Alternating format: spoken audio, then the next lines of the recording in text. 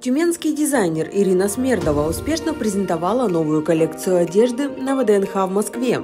Ее бренд Tweed Co вошел в тройку лучших на московской неделе моды.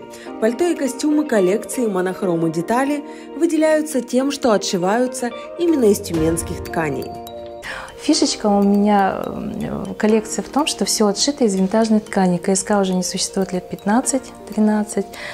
Этим тканям также лет 20 более-менее. Э, где-то вот по, если буклированные ткани, они поновее, вот эта вот альпака, она постарее. Ирина Смердова – член Союза дизайнеров России.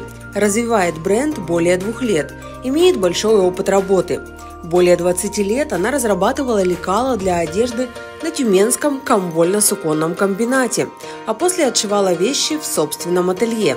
Во время пандемии создала первую коллекцию одежды – Развивать бренд в социальных сетях ей помогает старшая дочь, а младшая выступает в роли модели и открывает модные показы.